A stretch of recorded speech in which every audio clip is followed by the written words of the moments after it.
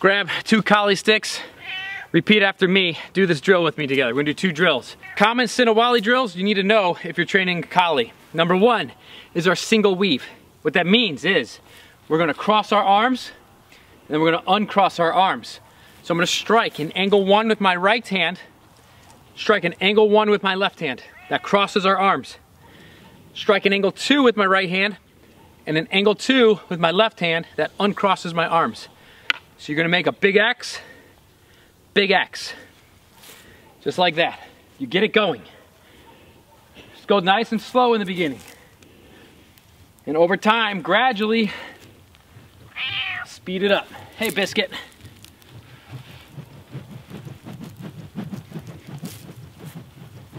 Yeah, let's look at that one more time. Starting off in the open chamber position. Right hand strikes the one, left hand strikes the one. See how that crosses my arms? Now we gotta uncross the arms. Right hand strikes the two, left hand strikes the two. Back into open chamber position. Work that out. Then, we're gonna work on the double weave.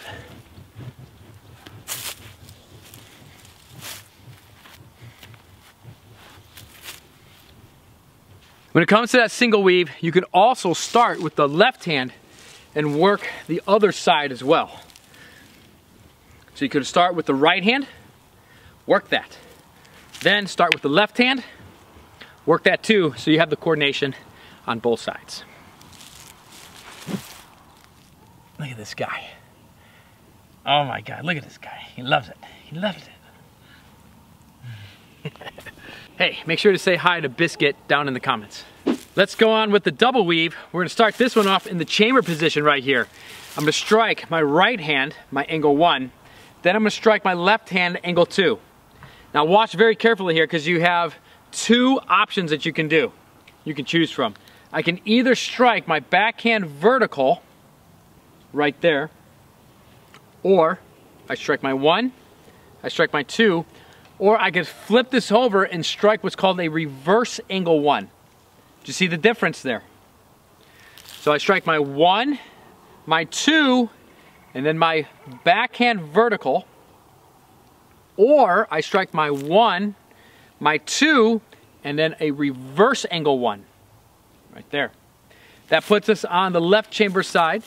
We do the exact same thing on the other side. So my left hand strikes the one, my right hand strikes the angle two, and again, we have that option. I can either strike the vertical, or I can flip it all the way over a little bit more and strike a reverse angle one. So we have a one, two, vertical, one, two, vertical. Or we have a one, two, reverse one, one, two, reverse one. So I give you a little bonus there that you can practice both variations. Get your hands flowing together just like this. A lot of empty hand fighting techniques and double knife fighting techniques come out of this motion right here. And that's why you want to learn it on the double sticks. It's easiest to learn it on the sticks first. Then you can gradually speed it up. Okay? You can bring it up higher and put a little more power and intention in your strikes or just keep it low and just train your hands to work together in the double weave motion. Okay? So once again, just to recap this one, starting in the chamber position, strike the one, strike the two, strike the vertical, strike the one, strike the two, strike the vertical, or the second variation, strike the one, strike the two, strike the reverse one, strike the one, strike the two, strike the reverse one, and get it going. Just like this.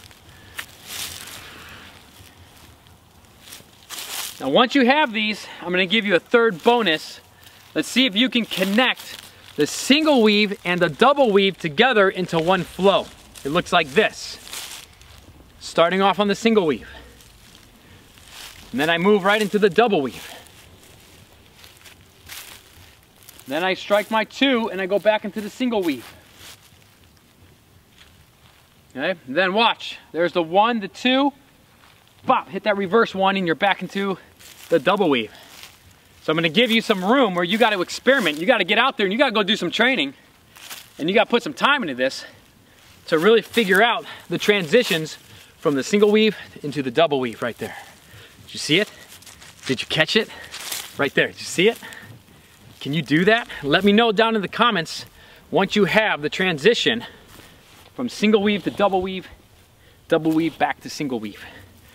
And then make sure you hit the thumbs up button on this video. That way I know that maybe you want to see some more videos, some more uh, drills like this. And we can keep building on our Kali skills together. Be sure to subscribe to the channel and hit that bell to turn on post notifications so you don't miss any upcoming training here at Kali Center.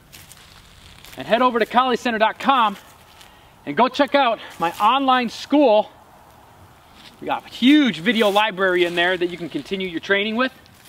You can join us in our live stream classes every month.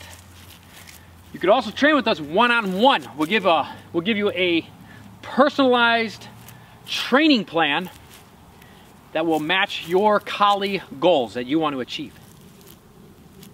You can also check out my DVD downloads and my further Kali training courses.